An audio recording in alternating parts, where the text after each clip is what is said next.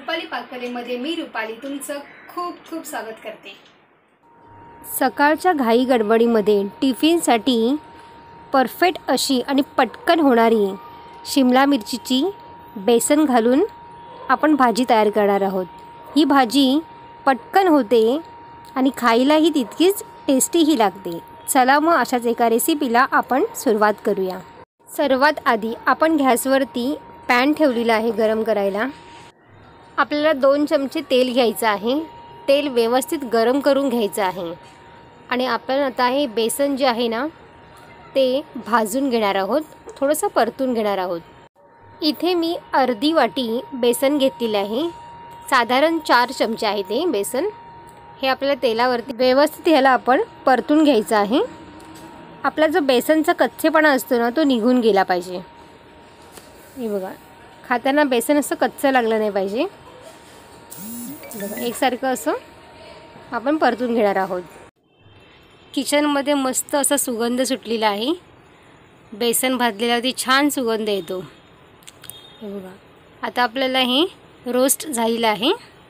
आता याच्यामध्ये आपल्याला अर्धा चमचा लाल तिखट घातलेलं आहे मी. आणि इथे मी चवीनुसार मीठ घातलेलं आहे. हे व्यवस्थित मिक्स करून घ्यायचं आहे. बघा पुन्हा असं ढवळायचं आहे. बघा. आता आपलं बेसन हे तयार झालेलं आहे. साधारण मला इथे चार ते पाच मिनटं लागलेलं आहे. व्यवस्थित असं तर गॅस बंद करून घ्यायचा आहे. तर एका पॅनवरती आपण दोन चमचे तेल घेतलेलं आहे. त्या तेलामध्ये आपल्याला मोहरी अर्धा चमचा आणि अर्धा चमचा जिरं घातलेलं आहे. जिरा आणि मोहरी व्यवस्थित फुलू द्यायची आहे बघा तेलावरती. बघा तर मी ते शिमला मिरची घेतलेली आहे.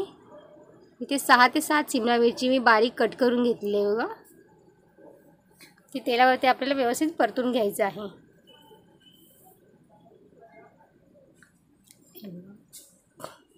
आणि ते मी अर्धा चमचा हळद घातलेली आहे. चवीनुसार मीठ घालायचं आहे आपल्याला. ह्या भाजीला वेळ लागत नाही अजिबात हे बघा आणि ह्याच्यामध्ये मी धना पावडर घातलेली आहे एक चमचा. या भाजीला शिजायला अजिबात वेळ लागत नाही झटकन होते भाजी. हे बघा. आणि आता आपण इथे जे बेसन आपण तयार केलं होतं ना ते घालणार आहोत हे बघा. आणि त्या भाजीमध्ये व्यवस्थित मिक्स करून घ्यायचं आहे.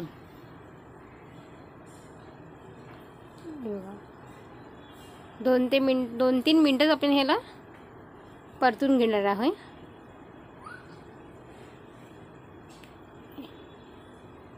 एखादा मिनिट याच्यावरती झाकण ठेवून द्यायचं आहे आपल्याला.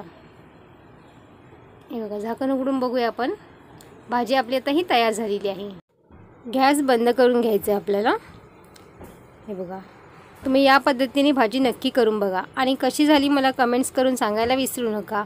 आवडल्यास लाईक करा शेअर करा आणि माझ्या चॅनलला सबस्क्राईब केलं नसेल तर सबस्क्राईब करा. पुन्हा भेटूया अशाच एका नवीन रेसिपीमध्ये तोपर्यंत मस्त खा आणि स्वस्त रहा.